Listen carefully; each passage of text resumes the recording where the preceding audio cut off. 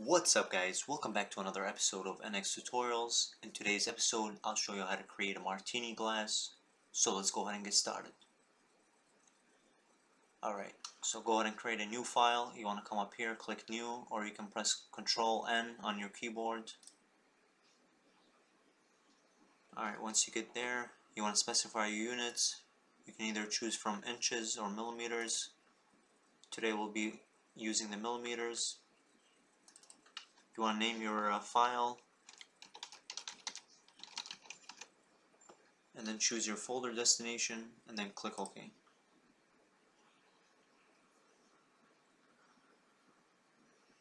Alright, the first thing is go ahead and create a sketch. You want to come up here create a sketch. Choose your plane. I'll leave it at the X and Y plane. Click OK. Next we'll go ahead and create a line coming down vertically. And we want it to be uh, 250 millimeters long so type in 250 and then 270 coming down at an angle. Alright there's our first line. Next we'll create a line up here at 100 millimeters so type in 100 press enter Alright. And then we want to create another line coming down.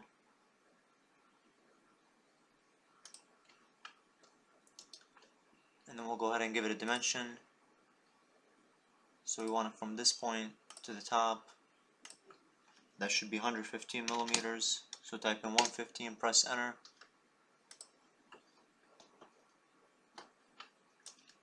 Alright, we'll go ahead and work on the base click on line go ahead and create a line coming out. And we want it to be uh, 75 millimeters in length.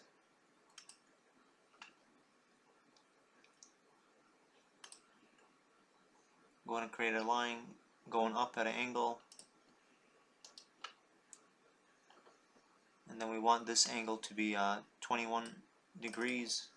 So double click on the angle dimension and then type in 21 degrees and press enter.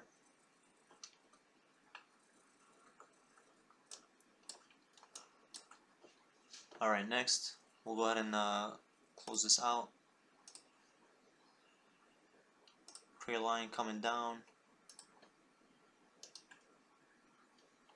And then go ahead and rapid dimension it from this line.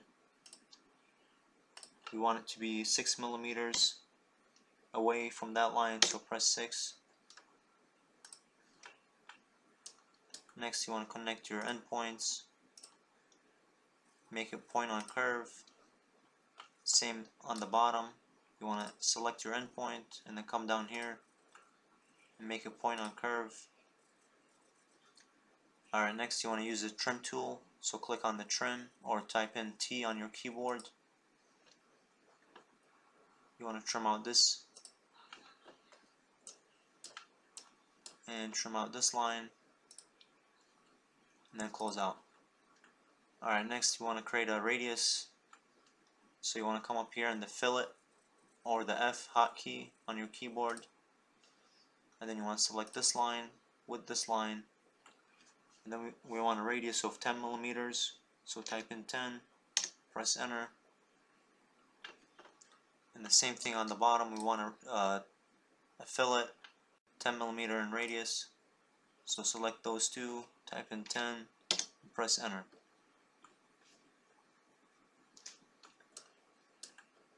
Alright, next we have to separate the top from the bottom so that way when we shell, take out the material from the top, we don't want to shell all the way through the stem. So in this case we have to create two lines coming across. So select this endpoint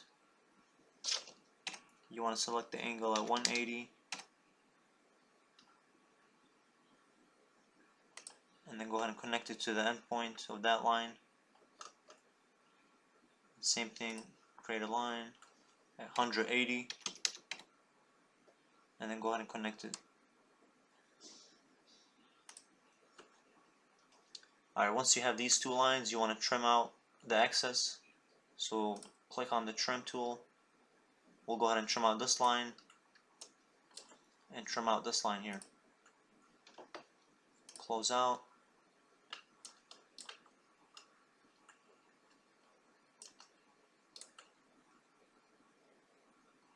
Alright, so now we have our sketch. It's fully constrained using the auto dimensioning and constraining.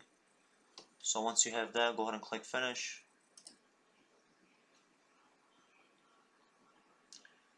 Alright, next, you want to click on the revolve.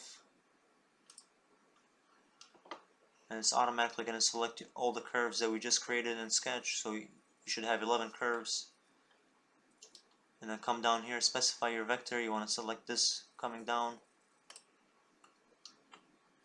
Alright, so now we have our shape. Go ahead and click OK.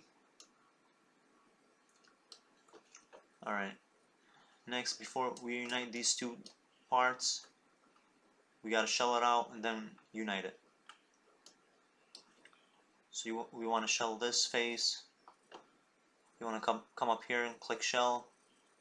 And if you can't find any of these features up here, if you got a different layout, you can always type it in here in the search box, type in shell for example, and then press enter.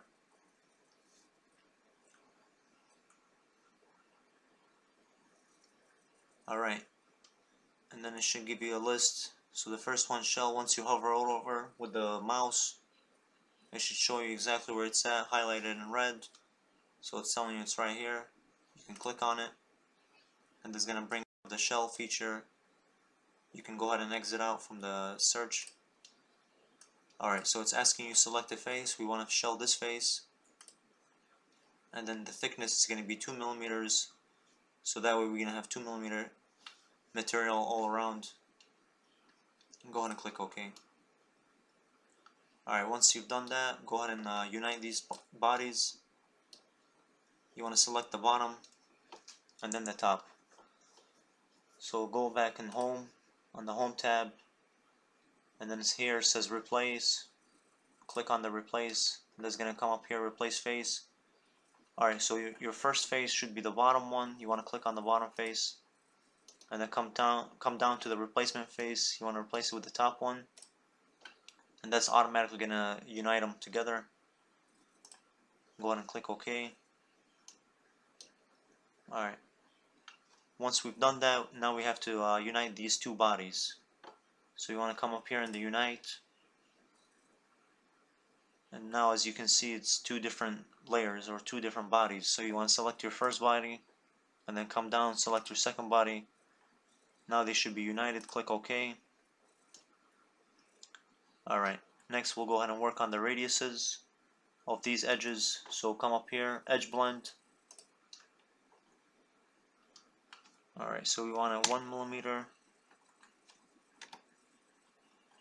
and then go ahead and select these two edges so the outer edge and then the inner lip go ahead and click OK now you should have a nice radius.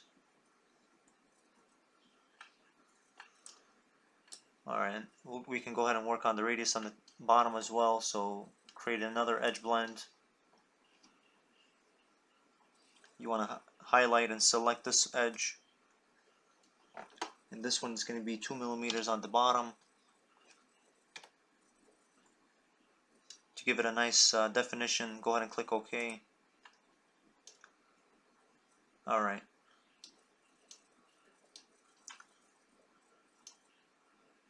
next we're going to work on the definition of the base of the glass. So the first thing is we'll go ahead and uh, sketch a circle. So click on sketch. We want this plane work off of this face so select this face click OK. Alright go ahead and click on the circle and then we want this circle to be centered on the sketch origin and the bottom circle should be uh, 20 millimeters so type in 20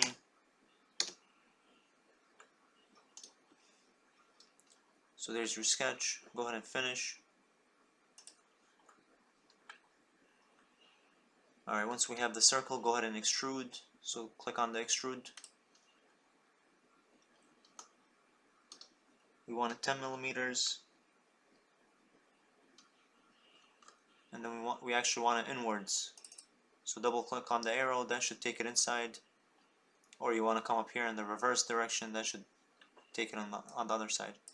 So once you have that go ahead and click OK next you want to subtract that. So uh, click on the subtract.